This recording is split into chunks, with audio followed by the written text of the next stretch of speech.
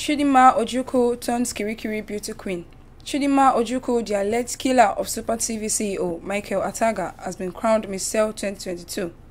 The suspect, whose trial is ongoing, won the beauty pageant held at Kirikiri Correctional Facility to mark the 2022 International Women's Day. The female inmates also showcased their various talents and skills. According to the national spokesman, Nigeria Correctional Service, Francis Enobore, Part of the services of the correctional facility is to ensure that inmates are in sound and good spirits.